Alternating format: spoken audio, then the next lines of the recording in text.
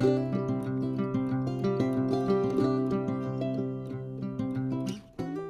friends, it's me here, Jasmine at Linen Bouquet. I hope you're all doing great. So today I have a topic to chat about and it is on quilt bees. So I want to talk about what a quilt bee is, uh, the benefits of joining a quilt bee and maybe some of the downfalls, what to be careful of whenever joining a quilt bee and how to navigate that. So I have had the privilege of being a part of two different quilt bees now and they've run on for about three years. So the first uh, quilt bee that I was a part of, I was a part of that for almost two years. And then the second one is still ongoing and I'm kind of at the tail end of it. Um, I have had a really great experience with quilt bees. I have really enjoyed the quilting community, mostly on Instagram, uh, since that's where I started out. And really great, great groups of ladies. Um, everyone's sharing their talents and um, you get a huge variety of different styles of quilting. So that's been really great. And I just want to chat about it um, and tell you kind of what my experience has been. So a quilt bee is a group of quilters and they it's usually about 12 people um, and the quilt bee will last for 12 months. So every single month one person from the quilt bee will be the quilt bee queen. So the, the queen bee of the group. And that person gets to choose a block or a style of quilt that they like and then the rest of the group makes a certain amount of blocks for that person, sends them all to that queen bee of the month and at the end of the whole year, every person should have had a month of their own where they receive blocks. And so at the end of it, everyone should have their own quilt. And it's really cool. It's a great way to spread out the work, um, to get crafty and help out a friend, and also to get some fun things back, especially if you're into scrappy quilts or you want some quilts that have a bunch of different fabrics maybe without having to buy it all yourself.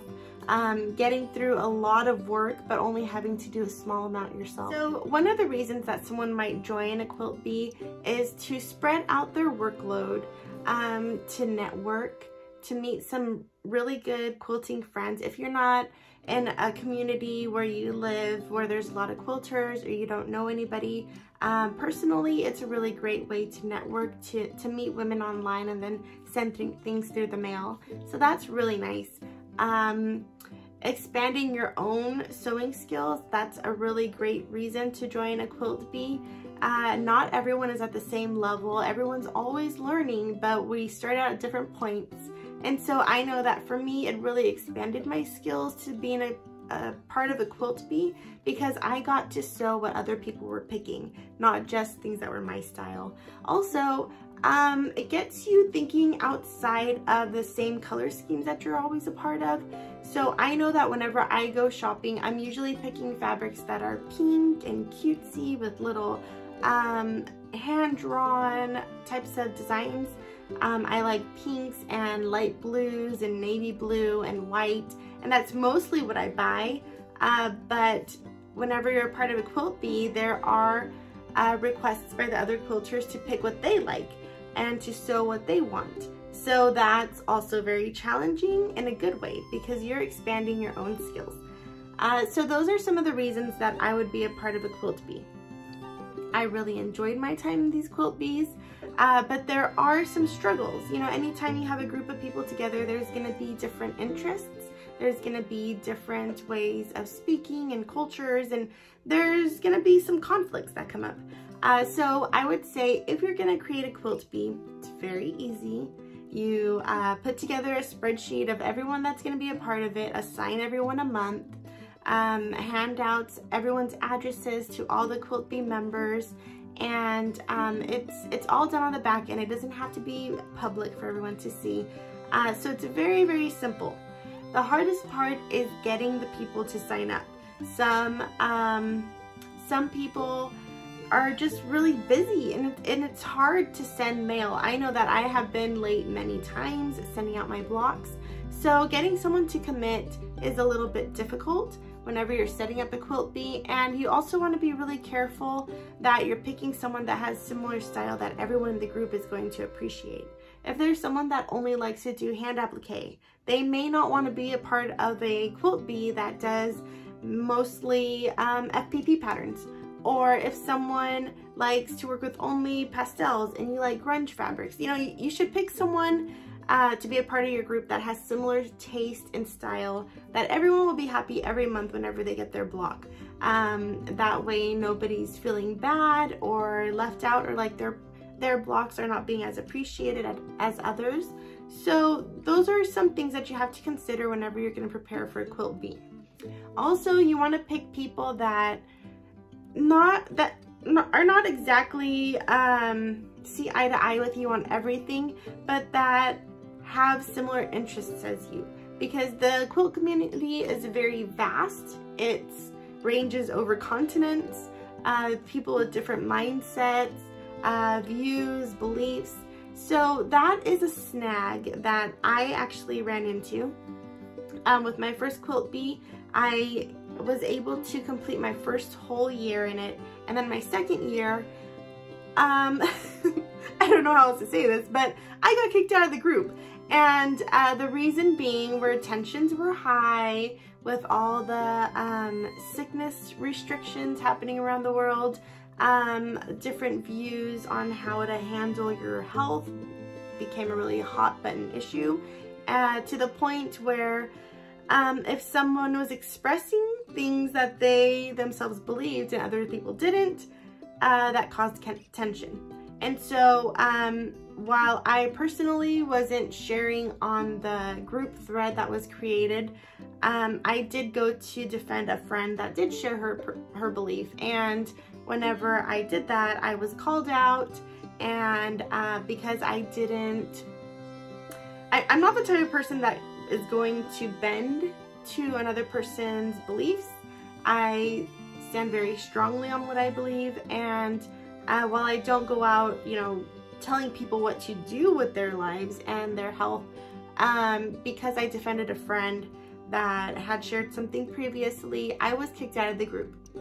Um, and so you got to be really careful who you're picking to be a part of your group. I am not mad at the women that uh, chose to kick me out of that, that quilt bee. I, I'm fine not being in the quilt bee. It did stink that I had committed myself for so long and I was uh, sewing and giving my best but um, whenever it came time for me to receive blocks I was cut out of the group and I didn't receive all the blocks that I should have. So you know that that was kind of a give give give situation and then I got cut off.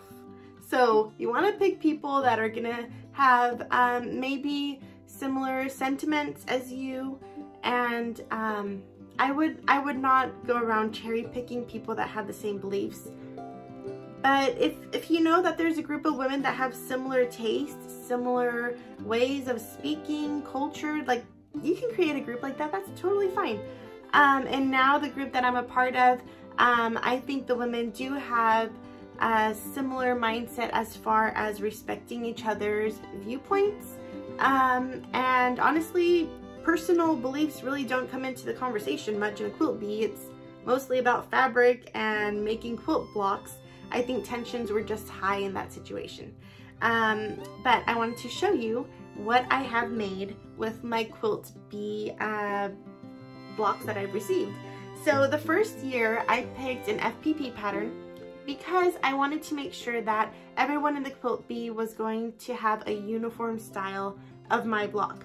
Um, I made it, I, or I picked a very simple pattern so that there wasn't a lot of complications so people with different skill levels wouldn't be overwhelmed and a simple color palette. So I think whenever you are choosing, whenever it is your turn to be the queen bee and you're choosing the block for other people to make, uh, depending on the group's skill set, you may want to be careful with what you're picking.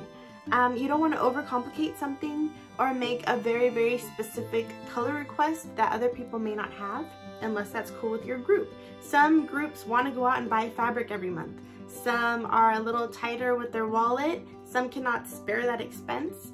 Uh, it's all understandable. So I, I was very lax on mine. I said, I wanted something that was pastel colored because that's what I always go for.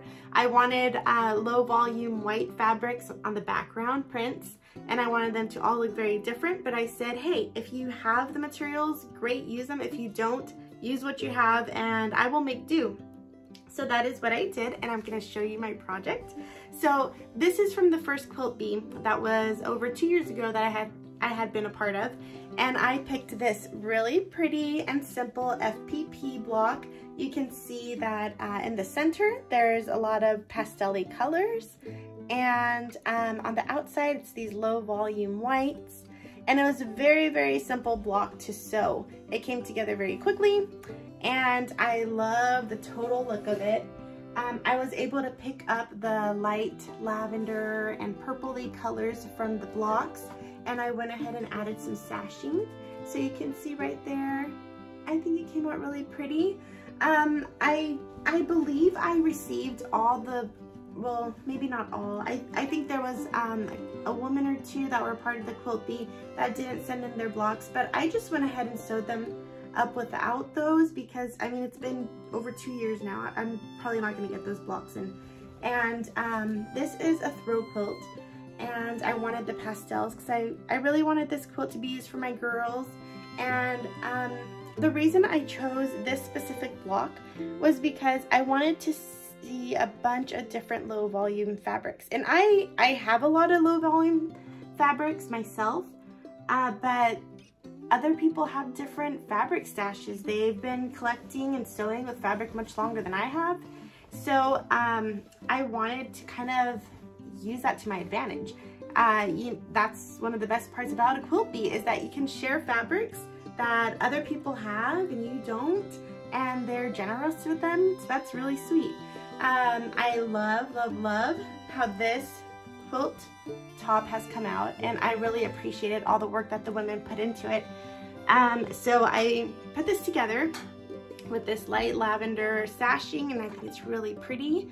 Um, since it was a rainbow quilt bee, there's lots of colors and everyone's blocks that were a part of it. That was really fun and I really enjoyed being a part of that quilt bee.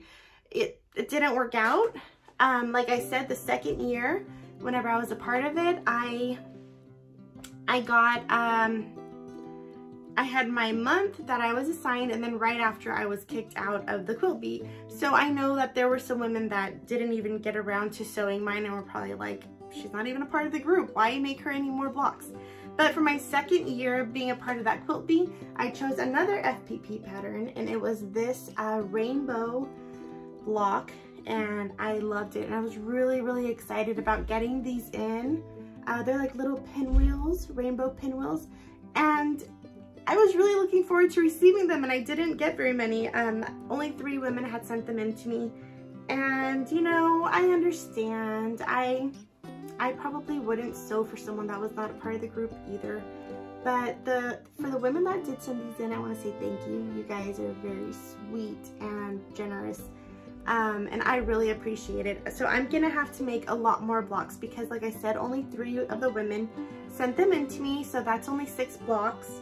Uh, the quilt bee that I've been a part of and that I was a part of before, um, we decided to only send uh, two blocks per person every month. So look at how sweet those are.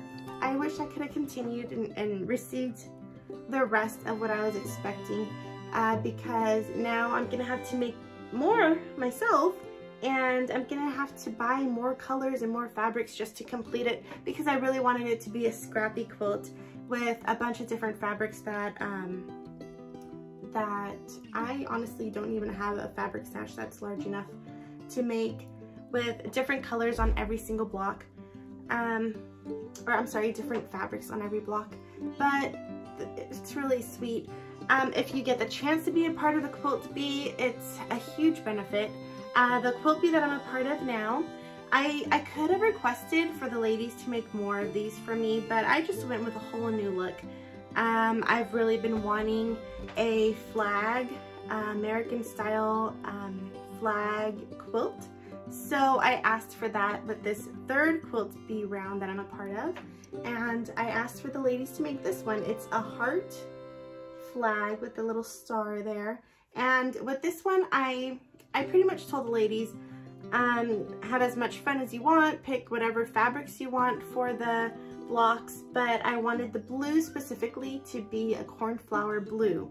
And this is kind of a darker toned cornflower blue. And that's another great thing about Quilt Bees. Um, some people are open to very specific suggestions like that. And some people are not. All the ladies in my current Quilt Bee, they were very sweet.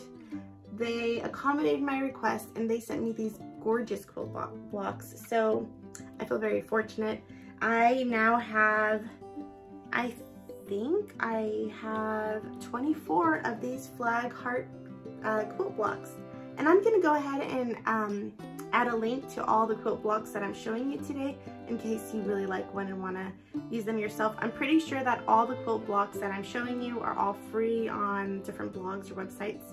So um, yeah, I now it's my turn to put all of these together for this this patchwork quilt bee that I'm a part of now.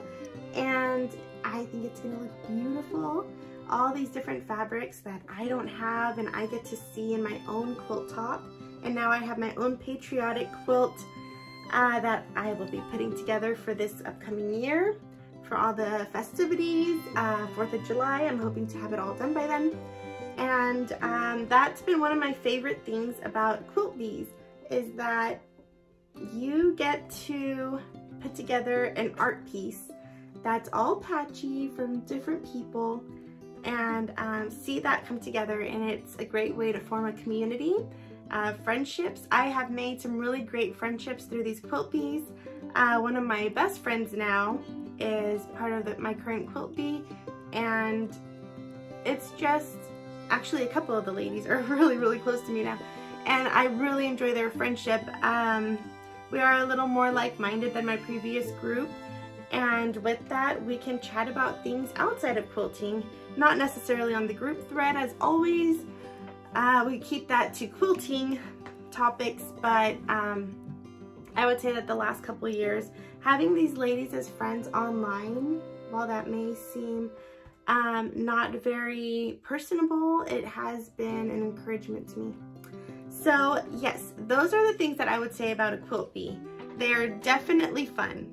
Definitely do them. I recommend them. If you have not been invited to a quilt bee, make one. It's very easy as long as you find the 12 people. And you know what? It doesn't even have to be 12 months. It could be a six month quilt bee. Everyone at the end of it is still gonna get um, enough for a quilt top. And you can increase if you're gonna make smaller, a smaller time framed quilt bee.